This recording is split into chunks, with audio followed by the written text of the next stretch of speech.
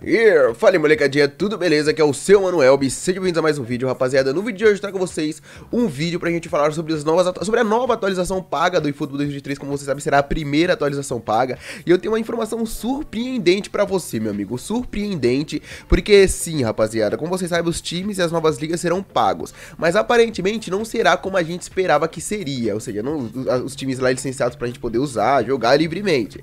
Aparentemente não, rapaziada. Então vamos trazer essa informação antes que você gasta o dinheiro com os times no eFootball 2023. Eu não entendi o que, que isso significa. Eu acho que não será assim porque não faz sentido ser assim. Mas aparentemente, pelo que foi dito por eles, deve ser, tá, rapaziada? Vamos debater um pouquinho sobre isso. Que tenho certeza que vai deixar todo mundo de queixo caído, né, cara?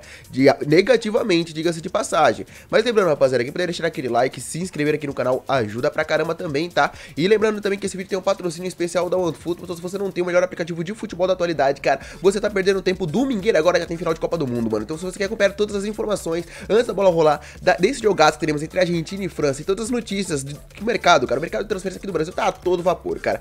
Os times já se apresentaram para a pré-temporada 2023 que já tem início agora essa semana. Então, cara, todos os detalhes, todas as informações é lá no OneFootball, então baixa aqui nesse QR Code ou no primeiro comentário fixado aqui abaixo no link aqui na descrição, que eu tenho certeza que você vai curtir muito e vai me agradecer mais pra frente, né, cara? Porque o eFootball tem muitos benefícios, todos esses que eu citei pra vocês e muito mais, fechou? Então, beleza, rapaziada, vamos falar aqui sobre o eFootball, tá, rapaziada? Lembrando, cara, essa atualização deve sair ainda esse mês. Eu vou falar pra vocês como é que ela deve funcionar, mas toda essa atualização e eu vou testar lá na nossa plataforma nova de lives. Inclusive, você que chegar lá falando que veio pelo YouTube, tá, rapaziada? Você terá um prêmio especial por lá, beleza? Então, cara, que não tem esse aplicativo ainda, é de graça. Baixa aqui na descrição, tá aqui no primeiro link da descrição, baixa ele gratuito, segue a gente por lá. E quando a gente abrir live, cara, eu vou testar toda essa atualização por lá. Eu vou comprar esses novos conteúdos que vai chegar e eu vou testar com vocês por lá pra gente ver se vale a pena ou não. Vou trazer muito pouco pro YouTube, eu vou testar mais lá é, com vocês em live, fechou? Então se você não me segue lá ainda, baixa aqui na descrição e me segue lá, fechou, rapaziada? Então vamos entender melhor o que que se trata todo esse assunto que eu estou especificando pra vocês, fechou? Bom, como vocês sabem, o eFootball 2023 é, terá uma nova atualização. É, é, tinha é, expectativa de sair esse mês, porque é o que tinha sido confirmado pela Konami, que acompanhou os últimos, os últimos dois vídeos do canal, nós falamos sobre isso. Mas só recapitulando rapidamente, tinha uma atualização que a Konami confirmou há três meses atrás, que era uma atualização que iria sair muitos conteúdos, entre eles modo edição, os times e ligas licenciados, tá ligado? Teríamos também o crossplay, com todas as gerações jogando entre si, era uma maravilha, né, rapaziada? A Konami tinha confirmado anteriormente que iria sair esse mês, e essa semana anunciou que sairia agora no dia 15, ou seja, era pra sair hoje essa atualização, já era pra gente estar com essa atualização com todos esses conteúdos. Só que um dia depois, ou seja, no dia 13 de dezembro, eles magicamente deu um imprevisto lá que ninguém sabe o que foi. Eles pediram desculpa como sempre fazem e falaram que não tem uma nova data. Falaram que eles vão anunciar é, anteriormente, vão anunciar é, com antecedência qual será a nova data dessa nova atualização, tá, rapaziada? E aparentemente saiu uma nova informação sobre como vai funcionar esse, esses conteúdos pagos, cara. Como vai funcionar esses conteúdos pagos. Como vocês sabem, o crossplay deveria vir gratuitamente, tá? É, teremos essa atualização com conteúdos pagos e com conteúdos gratuitos. O crossplay deve vir gratuitamente ao lado do modo edição. Isso eu creio, né, rapaziada?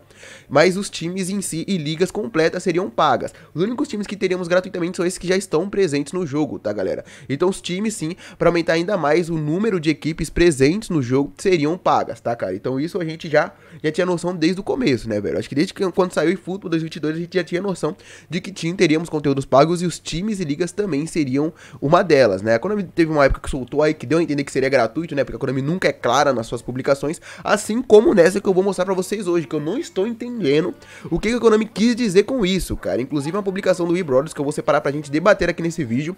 Cara, porque o que deu a entender essa publicação que a Konami soltou hoje, cara, é simplesmente algo absurdo, velho. Que aparentemente nós pagaríamos para ter os times, mas nós não teríamos o time, ou seja, nós não teríamos os conteúdos dos times. Só seria um conteúdo apenas exclusivo para dentro do Dream Team, cara.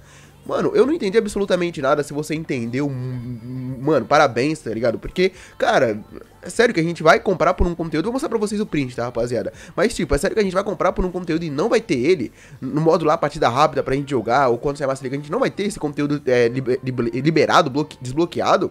Cara, é sério isso? Vou mostrar pra vocês o print, tá? Eu tô muito custando acreditar que isso seja real, porque não faz o mínimo de sentido a Konami vender o conteúdo e não disponibilizar ele no, nos outros modos, com exceção do Dream Team, e ser um modo apenas do Dream Team, né, cara? Isso não faz sentido, tá, galera? Estamos aqui, ó, no, no Twitter oficial do eBrothers, ele tá falando aqui, ó. Não esperem na atualização paga, ou seja, paga, você vai pagar que traga as ligas licenciadas. Isso é bizarro, né, cara? O modo Copa e Liga, que é o que foi prometido ser pago, chegar tudo junto, né, rapaziada? Essa DLC paga trará essas licenças para serem usadas no Dream Team.